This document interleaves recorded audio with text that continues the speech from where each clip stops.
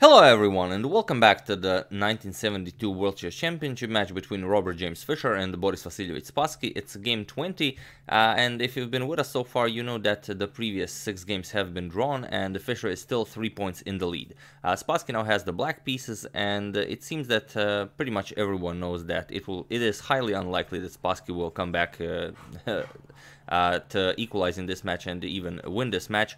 Uh, Dr. Max Euwe, FIDE president, uh, already arrived in Reykjavik, uh, getting ready for the final ceremony and everything.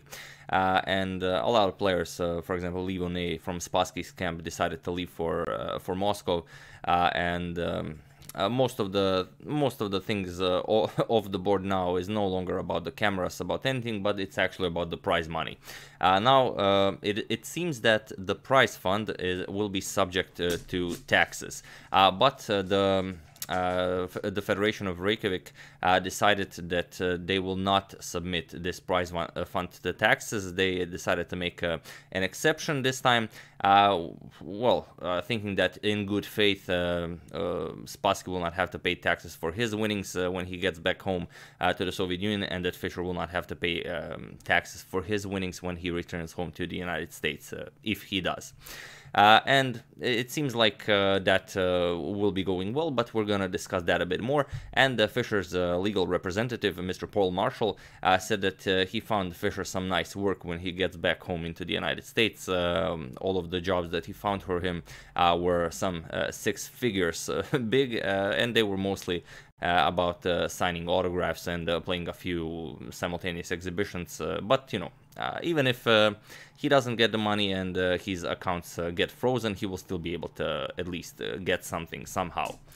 Uh, but, uh, you know, he still has to win this match even though he's uh, three points in the lead. So uh, Fischer has the white pieces uh, and in this game he opens with e4. Later after the match uh, both of the players said that their favorite move for this match was when they played white e4. Uh, but okay, c5. Spassky is again interested in a fight. We have knight to f3, knight to c6, and d4. Uh, c captures, knight captures, knight to f6, knight to c3, d6, and Fischer does not go for his favorite Sozin, but rather, uh, again, he repeats uh, the Richter-Rauzer variation from the 18th game. Uh, and okay, e6, Spassky doesn't mind playing the exact same variation, we have queen to d2, uh, a6, we have a queenside castle, bishop to d7, and now f4 bishop to e7. This is the exact same game the two of them played in the 18th game, and here uh, Fischer, if you remember, continued with knight to f3. He prepared e5, but for this game he prepared bishop to e2. Uh, it's a very rare move that was, uh, to this game, played only three times before, uh, and it comes... Um, with the idea uh, of simply developing a piece and preparing to bring this bishop over to f3 uh, to hinder black's, black's development of the queen side with b5. Uh, so okay, we have castles by Spassky. Uh, playing something like h6 doesn't really work here with the idea of uh, bishop to h4 and now capturing an e4 uh, because knight can simply capture on e4 and after bishop captures on h4 you have this knight captures on d6 check, that's the problem. King to f8, and of course uh, white white is much better here. You can simply attack the bishop, uh, and now the threat is uh, either capturing here and then capturing on f7 with a double attack being created against the bishop on d7, and whatever black plays, let's say bishop to e7, you will still capture on f7. King captures, and now queen can capture here, captures, captures, and it will be a much better position for white. Uh, so after this uh, Fischer's bishop to e2, uh, we have castles by Spassky, and now comes bishop to f3. And now, of course, b5 would be uh, a bit too early, as e5 now will win you the game. There's a, an attack against your knight on f6, and also this comes with a double attack uh, against the knight on c6. If you capture, of course, you will lose the rook on a8. Uh, so here h6 is played, uh, and here Fischer goes uh, bishop to h4. Also a possibility here, and a very interesting one, is definitely h4, something well, you would play in a blitz game, uh, but here it's not so clear. Uh, black can simply ignore you and continue playing this game either by starting to develop on the queen side, he can capture on d4, and then you always have to figure out what will you do here. Uh, I mean, you can always, of course, capture on f6, but if it doesn't work, uh, better not play it. So Fischer simply allows the following simplification, as he's three points in the lead in this match, and he, he really doesn't mind any simplifications. Uh, bishop to h4 is played, and now Spassky does go for knight captures on e4. Uh, bishop captures on e7 by Fischer. If you play knight captures on e4 first, uh, and allow bishop captures on h4, Uh, then knight captures on d6 comes, but uh, practice showed that black will be better after queen to c7, attacking the knight on d6, uh, and after knight captures, bishop captures, uh, bishop captures on c6, queen captures on c6, um, the material on the board is equal, but black has a bishop against the knight, and this dark square bishop, when it comes back to f6, will be extremely powerful. Uh, the rooks can come uh, easily to the open files, and uh, black can just start pushing his pawns on the queen side. Uh, all in all, black would be better here. So instead, uh, bishop captures on e7, and now comes knight captures on d2. Uh, not knight captures on e7, uh, because now you have this knight captures on c6 with the threat of first capturing on e7 with check. So now if you knight captures on d2, knight captures on e7 comes with check. King has to move and only now will you recapture. Uh, and here, of course, you would be up a piece uh, as white and there's really nothing you can do. Even if you trap this knight, that wouldn't really help you. Rook captures here. Uh, rook captures and now bishop captures on d7, still you would be uh, up up a whole knight with a better position uh, completely winning for white. So after bishop captures on e7, knight captures on d2. This are, these are all very known simplifications. Uh, bishop captures on d8, knight captures on f3, knight captures on f3, rook f captures on d8, and now rook captures on d6. Uh, and king to f8, uh, preparing to bring the king over to e7. Uh, we have rook h to d1 doubling up uh, on the d file, and now king to e7 defending the bishop on d7 that was attacked twice. Uh, knight to a4, preparing to uh, play knight to b6 or even knight to c5, but it would be uh, very problematic uh, for black. So bishop to e8 first, Spassky uh, uh, forces a trade of rooks. We have rook captures, rook captures, and now knight to c5. if Fischer immediately exchanges the other pair of rooks as well with rook captures and king captures, the king will be much closer to defend the king side pawns. So Fischer go decides against this. Uh, we have knight to c5, attacking the pawn on b7.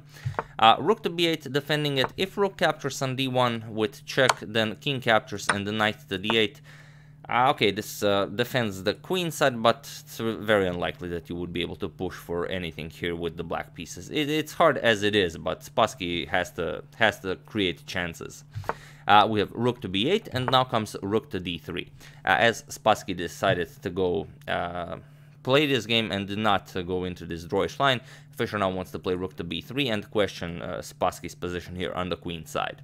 Uh, we have a5 here, as the b7 pawn can't really be moved, as knight captures on a6 would be played, first a5, and now preparing b5. Uh, Fischer first plays rook to b3, he forces Spassky to push his b pawn, uh, we have b5, and now comes a3. Uh, we have a4 attacking uh, Fischer's rook, and now rook back to c3. And now uh, Spassky's two pawns on the queen side are controlling Fischer's three points on the queen side very nicely, but there are some uh, dark square weaknesses on the queen side. Uh, rook to d8, now the rook is no longer useful here, you can simply shift it to control the d file, and now knight to d3.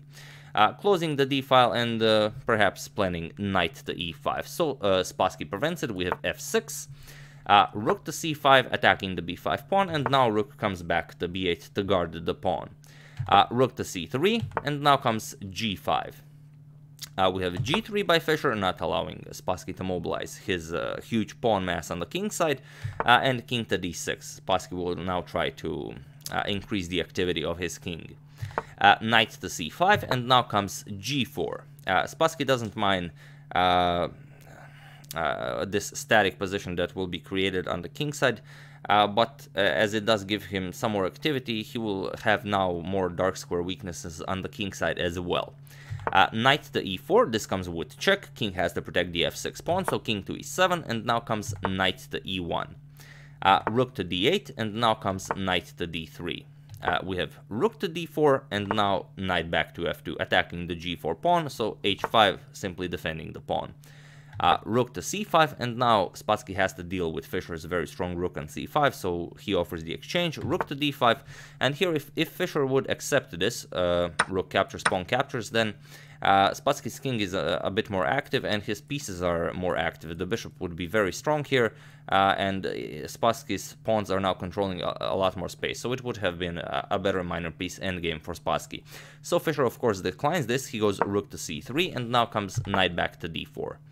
Uh, rook to c7 with check, as here uh, Spassky was threatening knight to e2 with, with check to pick up the rook. So first rook to c7 check. Uh, rook to d7, Spassky offers a trade, and here Fischer accepts it. Rook captures, bishop captures, and here comes knight to e1, not allowing Spassky to, to create an outpost for his knight on f3. Uh, we have e5 by Spassky, f captures, f captures, and king to d2.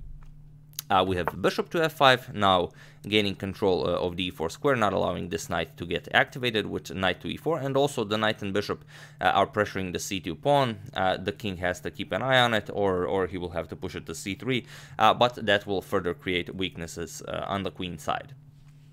so knight to d1, preparing move knight to e3 to activate the knight this way. Uh, and here we have king to d6. This is the move Spassky played, and this is the move that was sealed, so the game was adjourned here, and it will be continued tomorrow. And uh, as Gligoric mentions in his book, it does make sense to simply uh, improve the position of the king, not make any rash moves with the pawns or with the pieces, and then analyze the position over the entire night and decide what, what is best here. Uh, so when the game was continued, uh, unfortunately, this is one of the few games where Gligoric does not mention if Fischer came on time, but uh, uh, as uh, the one time that Fischer did come on time, he mentioned it, so I will assume that Fischer was again late for, for the continuation of the game. Uh, but okay, knight to e3, attacking the bishop on f5, this is Fischer's continued move, and now bishop to e6. Uh, we have king to d3, and now bishop to f7, uh, to, uh, trying to meet Fischer's advance of the king king e4 with this bishop to g6 check. Uh, this would of course win the game for Spassky as the king has nowhere to go. You would have to block with the knight, and then bishop capture simply wins you a piece, and of course the game. Uh, so after bishop to f7, Fischer simply moves the king, king to c3, uh, and now we have king to c6. Uh, king back to d3 by Fischer, uh, king to c5, and now king to e4. Spassky allows Fischer's king to enter uh, here to attack the pawn as um, uh, if, if, if Spassky wants to create chances for him to win the game, he also has to allow Fischer some chances. Otherwise, there's really nothing to do here.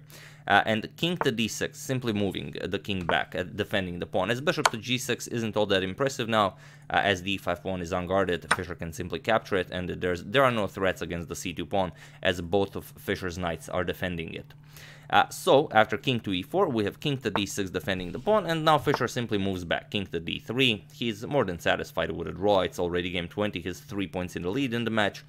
Uh, if Spassky wants to create something, he will have to push uh, harder than this. Uh, bishop to g6 check, and now goes king back to c3. King to c5, and now comes knight to d3. Uh, attacking the e5 pawn, and here king back to d6 defending. Uh, knight to e1. Uh, again, uh, not allowing this knight to come to f3, and here king to c6 was played.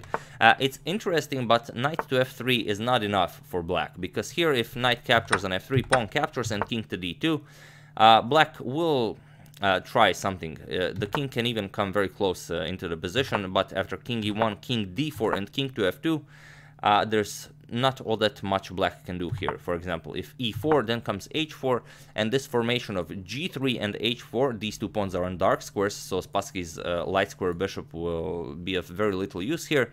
Uh, these two pawns are creating a wall against Spassky's king, so he can never approach the position. You can't really do anything with pushing of the pawns.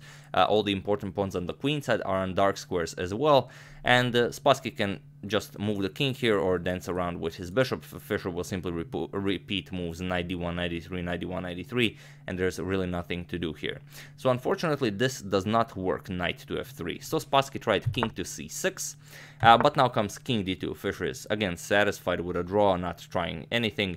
Uh, king c5, knight to d3 with check, king moves knight to e1, knight to e6 by Spassky, king to c3, uh, and here Spassky played knight to d4, and uh, Fischer uh, called the, the, chief arbiter Lothar Schmid, and he said he wanted to. Uh, well, uh, he said that it's a draw by threefold repetition, and Spassky didn't even wait for Lothar Schmid to check, he just signed uh, Fischer's claim for a draw, and the game was drawn here. But in fact, it was not a threefold repetition, it was only a, a twofold repetition. but, I, I, mean, there's really no way for Spassky to push for anything here. Uh, but uh, you know he he could have waited. Uh, but uh, obviously he was satisfied with a draw. So even uh, with twofold repetition, he uh, you know he acknowledged Fischer's claim for a draw. So yeah, uh, that's game 20. I do hope you enjoyed it. The result is now 11.5 to 18.5 uh, in Fischer's favor, so still three points in the lead. Uh, that we are getting very close to the end of this uh, spectacular match, so you know definitely stay tuned. Uh, I would like to thank Michael Hildebrand, Michael Cabral, Patrick McKibbins, Nancy Trotman, and Mark Lefebvre for a contribution to my channel. Thank you a lot, I really appreciate it.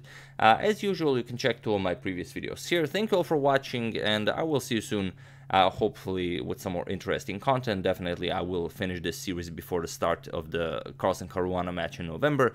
And also, I would like to wish a happy birthday to Mateusz Polkowski from Poland. Uh, it's a, a couple of days late, but I hope you had a very nice celebration. So, thank you all, and I will see you soon.